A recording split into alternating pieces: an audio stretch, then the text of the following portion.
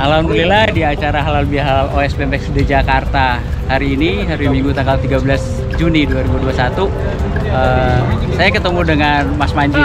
Mas Manji ini salah satu penggawainya OSBMX Beltix dan hari ini Insya Allah akan ceritakan sejarahnya Beltix ya Mas?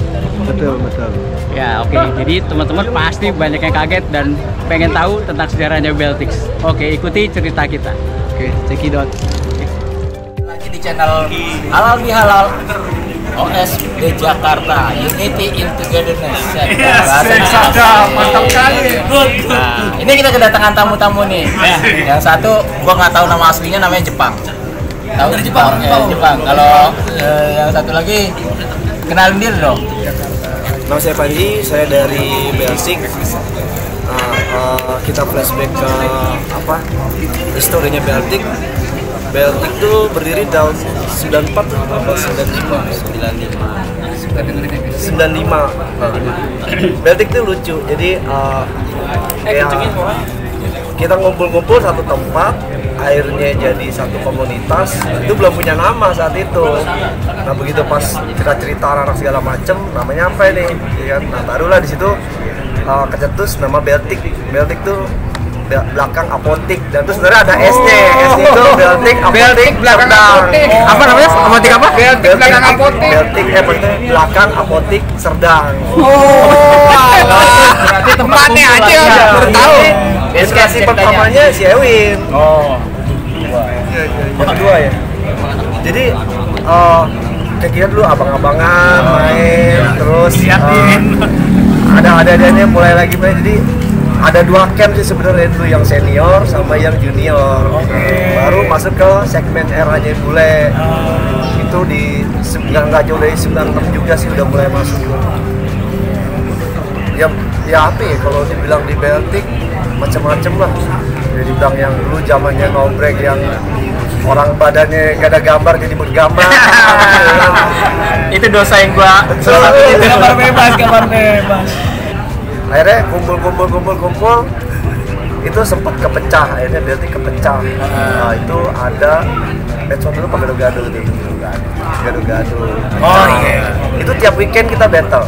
Indra ya? Indra ya? Iya di apa? Di upload. Di upload. Itu tiap minggu kita udah pasti battle. ya? udah pasti iya. battle. Di situ tampol-tampolan juga di situ juga. Tampol-tampolan pengukuhan nama iya, iya iya iya. Jadi kalau setiap setiap weekend tuh udah pasti battle ya kan? Nanti kalau dia nggak seneng nyolot dikit udah pasti ribut timbuk-timbukan sepeda tuh udah pernah ngalamin ya?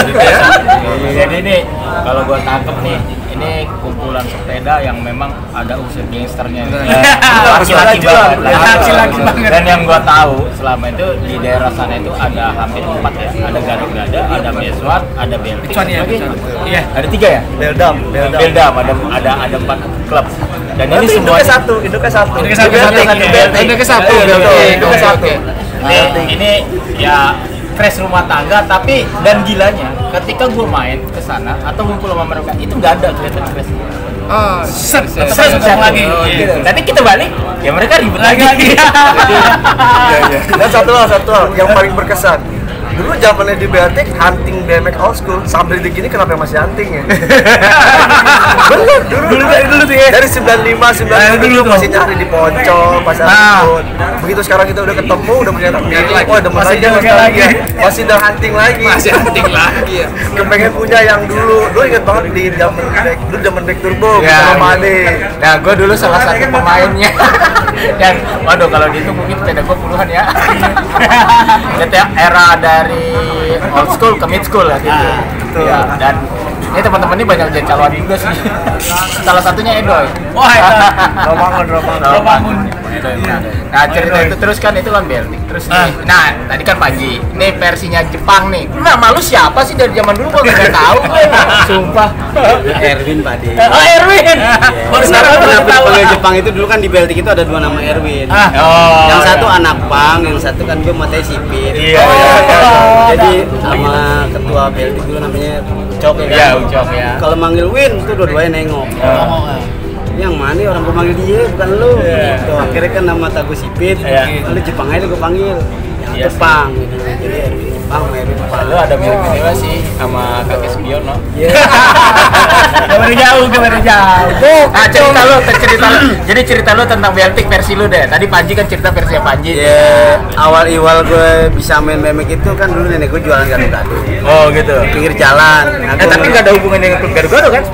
ya enggak ya kalau munculnya nama gado-gado juga ikonnya dari situ juga dari situ gitu Ah. gitu ya kan awal iwalnya gue main BMX itu kan di 95 akhir 95 akhir gue main ya kan?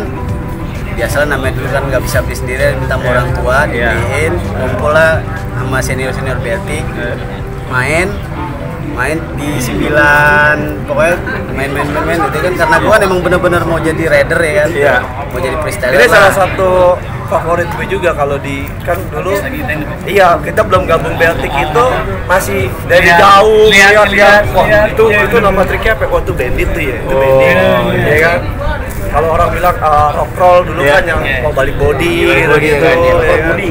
itu masih nggak dari jauh makanya Berarti ini abang-abangan dari. Abang. dari Pac-Man juga di Senayan sama Eh. ya kan wah gue pengen bisa kayak si Tilil nih Iya. ya kan jadi pertemuan tiap minggu di Senayan tuh buat ngulik trik tuh Oh, iya. Satu trik yang dapat udah alhamdulillah banget. Dan itu yang pasti di pintu 12 kan? Iya. Iya. Itu itu itu, itu kiblat. Iya. Jadi Jabodetabek pintu 12. Betul. Jadi seru kayaknya Om kalau kita bikin Rioni pintu 12 Itu. Itu meledak. Jadi jangan ngaku anak BMX kalau nggak main di pintu 12 cirinya apa pintu 12? panahan. Ah patung panah ya. Asik. Adalah. dia masih ikan loh biar tua-tua kayak gitu Iya. Jadi pintu 12 itu juga gua bisa kenal kayak Iwan, iya. Ucup, iya. Sama yang iklan Tesoso siapa? Iklan tesos Iya, lu ada ada iklan lu yang dia cherry picker dia Dia pitcher. Jadi bisa kenal Bukan dia. Bandung ya? Bukan anak Bandung. Caplang tuh caplang. bang yang bisa cari pikir Yang iklan Tesoso siapa namanya? oh iya Acil ya Acil Acil kancil Pakai celana PDL kancil ya kancil kancil 12 Kancil. iya kancil bisa kenal dia sampai gue diajak job sama dia pembukaan sepeda pertama poligon gue dapet job dari dia Tapi prestasinya lumayan bagus deh untuk sekelas tua lu ya. Bisa cerita ke anak-anak nanti. Iya, dia pernah ngerasain di endorse. Nah terus begini, endorse. iya kan begini. Kemarin kan Beltik ini sempat vakum nih. Ya gue tahu Beltik itu ketika eranya Panji nih. Emang dia, gue sering main bareng sama Panji lah. Kalau waktu dia dia, dia pernah lah satu momen dia ngelompatin apa? kasih lu kasih Kasih, lompatin mobil dan itu dibayar, dibayar sama yang punya kasih ya. Enggak. Jadi eh, ceritanya gimana itu, itu Itu acara Trans TV kalau nggak salah. Itu Jadi eh, apa? Dibikin kayak re- rekor Ah, begitu. iya. Cuman kan dulu kan ada ada skateboard, ada apa lo ngelompatin berapa orang masa itu challenge-nya. Jadi ngelompatin motor aja di jambok saat itu. Ah. Kalau kayak kita biasa jumping di pulau udah udah merem aja udah pasti lewat. Iya ya. lah dia, betul. Nah itu eh, 2001 kalau nggak salah itu. Iya, Kalau iya. nggak salah ya. kalau nggak salah. Jadi di Beltik itu untuk eranya masuk mid school tuh ada dua nama yang cukup besar. Waktu itu ada Panji sama Udin. Nah Udin itu adiknya nih Si Ijul. Ijul Kewel. Nah, kalau dia memang Kewel ya. kalau Udin memang main gitu loh. Jadi memang mereka mereka the bestnya di pada saat itu lalu berdua yang memang waktu itu. Nah setelah itu kan mereka ini redup nih. Terus kenapa tiba-tiba lo apa pengen lagi nih gitu loh setelah hilang sekian tahun ini coba cerita Oh, dulu nih ya, kita kita bicara reborn nih. iyalah Baltic Reborn itu awalnya uh, pencetusnya sih sebenarnya sih Dadan, Dadan tuh udah udah main old school duluan ya. Dadan pasti sono berapa Dadan, tuh? Dadan. Dadan Bacul. Dadan Bacul, ya. Nah, yang nah, saat itu pun masih main sepeda street ngeliat di di hotel Mandarin kan saat itu om ya. Iya, 2011 Tahun Cuma ngomong sama Ijul gini, 2011. Jul Iya. itu sepeda gitu kok sekarang anak-anak pada pakai. Sama Nah, nih, kelihatan waktu itu Nah, 2011. setelah itu ngobrol-ngobrol segala macam, wah emang kayak gitu sekarang harganya berapa? Nah barulah masuk ke temu ada si Tomo yang lu punya apa punya apa? ya? termasuk gua ngerayu peda bule itu buat dijual ke ke Tomo tuh. Dia jual aja sih bang buat apaan kayak gini. Iya, pakai. dulu tuh uh, GT yang sampai cuma tiga ratus ribu ke Dubai ribu. Terus ada yang mau satu juta. Nah, sebenarnya segmennya bukan karena yang oh ini jual old school sepeda mahal nih begitu pas nyeselnya yang sekarang orang pada nyimpen Banyak. buat nostalgia ya kan Iya, kalau lu, lu gila-gila cuan ya mungkin Iya. apa yang lu lu dapat murah lu jual tinggi-tingginya iya. enggak tapi pas sekarang ah gue pengen dapet momennya yang dulu si ini punya ini ini akhirnya Flashback lagi ya. ya anak-anak building tuh susah sebenarnya buat buat menyimpan peda-peda lama itu agak sulit termasuk perjalanan panjang juga termasuk Jepang main ke tempat gue yang lo mau ngerakit lagi pang begitu ngeliat harganya sempet kaget kan? Boleh boleh kak Eh buset, masa begini udah 2 juta, 3 juta sampai 5 juta ya kan? Akhirnya pelan-pelan pelan-pelan punya deh satu-satu anak-anak. ya kan? Minta cariin, minta cariin. Itu kan dari versi pribadi. Dan terakhir yang gua tangkap Deltic ini luar biasa. Luar biasa ya ketika bikin event ya kan? Kemarin bikin event kan yang di sini nih kan yang di Pondok Gede ya apa? Satarlan. Bulu pertama Satarlan. Satarlan dulu kan? Iya, Satarlan. Eh, langsung gandeng Red Bull gitu kan. Nah itu ceritanya gimana bisa kompak lagi terus bikin event? Menurut gua besar untuk untuk Iya, sekelas iya, itu besar. Benar, Gitu. benar. Nah itu, itu ceritanya gimana tuh? Itu ada bule itu sebenarnya yang cerita itu sebenarnya kalau di event Berko 2018 itu ya gosokan temen. Jadi kita nongkrong nih yang nongkrong nongkrong ya, biasa iseng ya. bikin event dong. Saat itu kan eh, Kemos sudah bikin event duluan di situ. Nah, Kemos, ya. Nah, akhirnya kan karena yang paham banget di situ gua ya bilang yaudah coba deh gimana sih regulasinya cara bikin event gua sempat so soan ke ke Pepa Iya. di, apa di Kemos ya udah sih lo ketemu ini aja bikin eventnya tuh eh, mungkin lo bakal kena cas buat sewa karena kan itu ada maintenance buat si track itu Nah, terus lo nanti ya paling izin ke, ke pihak apa ang- angkatan udara ya kalau di situ. Nah, setelah itu ya udah tuh gua rangkum gua rangkum semua baru gua discuss ke temen-temen. Kita bisa nih bikin event di sini. Eh, misalkan sewanya sekian. Nah, terus apa aja yang kita mau siapin nih misalkan kayak ada medali, terus kita ada apa tro eh trofi ya satu trofi kita mau kasih cash money terus ditambah lagi yang kenapa namanya Berko kan Bel, Bel, Baltic Anniversary Race and Competition. Jadi kalau nggak ada race-nya kayaknya nggak seru. Nah kebetulan saat itu ya. dekat sama Om Joko juga tuh yang yang lola Satarlan akhirnya ya udah mas bikin race aja. Nanti saya bantu uh, blow up deh tuh biar ininya ini. Ya, alhamdulillah akhirnya terrealisasi. Dan nggak pernah nyangka memang ya alhamdulillah bisa sukses di situ. Dan emang menurut gua sih itu sukses karena kalau nggak sukses nggak bikin lagi yang di Iya. Mas. Satu lagi catatan kita itu event patungan. Betul Oh, itu, berarti- itu itu kita kejar tayang jadi yang gua butuh dana 20 juta gimana caranya? Anak-anak gua kalahin Kita ya kan? patungan. istilahnya yang dulu oke kita kita kita orang nggak kerja ya beda masih minta orang tua gimana caranya? Gua satu kepala punya tiga ribu. Anak-anak ya udah oke deadline-nya kapan? Sekian. Nah akhirnya udah terkumpul terkumpul segala macem. Ya kebetulan anak kan ada yang yang ngerti hitung hitungan juga ya udah ya mungkin nanti ada dana masuk ada dari sponsor segala macam. Akhirnya bisa terrealisasi dengan angka yang RAB yang kita buat. Ya alhamdulillah realisasi di situ. Dan dari hitungan kita mau kumpulin itu itulah kita jadi bentuk lebih solid lagi. Betul. Yang tadinya cuman emang ngumpul lagi?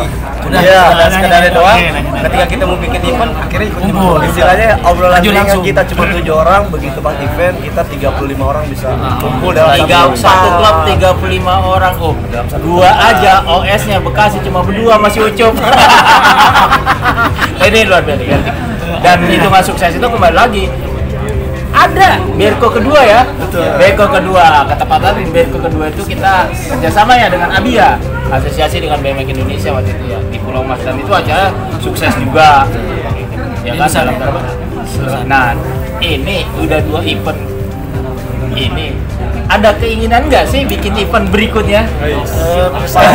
pada dasarnya pada dasarnya gini deh kalau misalnya kita nggak ada musibah ini kan pandemi pandemi Pandemi ya. Nah, kita kan kemarin itu kan 2019 kan mau bikin Iya, lagi. jadi gagal kita. Kan gagal, nggak bisa. Iya, Nggak karena ada. memang karena covid ya, covid 19 mengalah. Tapi yang gue lihat eventnya jalan terus, men.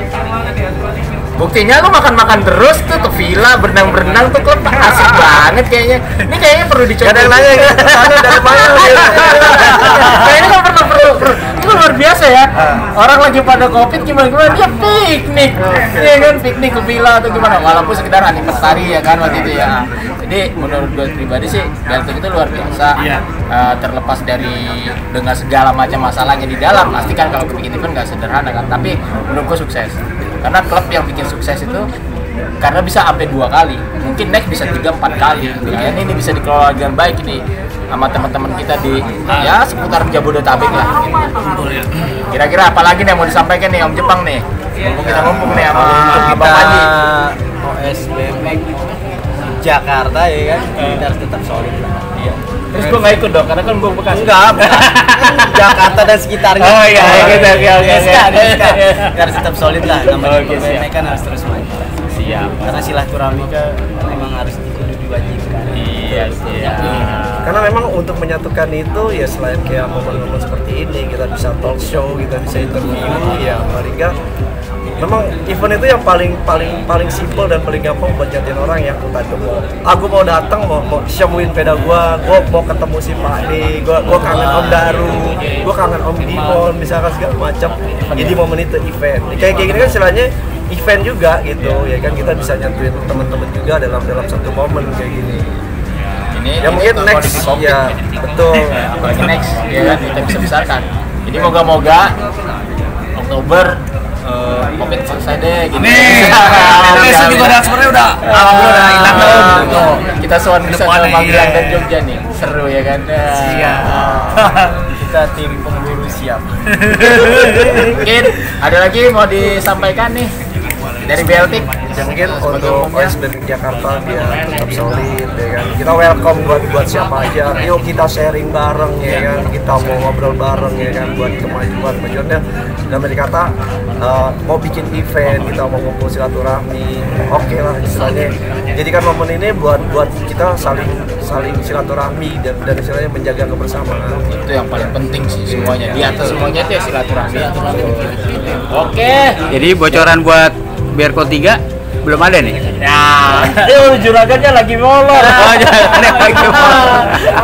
presidennya Kita, kita tunggu dulu. Kita masih nunggu nih. Kita masih nunggu. masih jadi Udah, Oh, godokan ya. Udah ada godokan. Ter- semua kan tergantung balik lagi pada eh, masalah yang kita hadapi di Indonesia ini. Iya, siap, siap. Oke. Oke, oke, terima kasih teman-teman. Ini tadi teman-teman dari Beltik, ada Bang Panji, ada Om Jepang, atau yang disebut Om Erwin baru sumpah baru baru tahu lu gue tahu orang ini tapi baru sekarang gue tahu namanya Padahal udah Erwin. lama ya, Iya. Mas Dari. Erwin apa Erwin apa yang panjang Oh, iya. Ade, padahal udah lama main dari pintu 12 ya. oke sekian dulu itu dari Beltik terima kasih kita tunggu bintang tamu selanjutnya Oke. Bintang selanjutnya adalah